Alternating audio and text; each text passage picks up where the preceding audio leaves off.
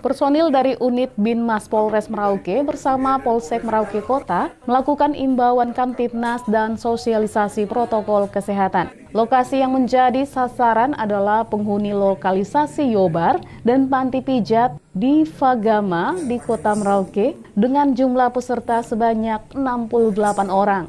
Dalam sosialisasi ini, petugas kepolisian menekankan penghuni dan pengunjung untuk selalu menjaga situasi keamanan tetap kondusif. Penghuni panti diajarkan tentang pentingnya untuk selalu menerapkan protokol kesehatan berupa memakai masker serta selalu mencuci tangan. Selain itu, untuk selalu mematuhi batasan waktu operasional untuk mendukung program pemerintah menghindari kerumunan terlalu banyak dan upaya menurunkan angka COVID di Kabupaten Merauke. Warga pun meminta polisi untuk membangun pos polisi di depan lokalisasi Yobar untuk menjamin keamanan warga dan pengunjung.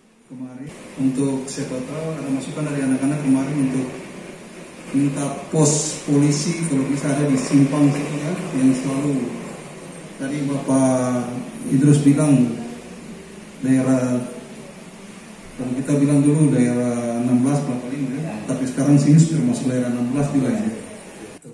Diharapkan melalui sosialisasi ini penghuni dan pengunjung lokalisasi dan panti pijat turut berperan dalam memutus mata rantai dan menurunkan angka COVID-19 di Kabupaten Merauke yang terus menurun dalam satu bulan terakhir.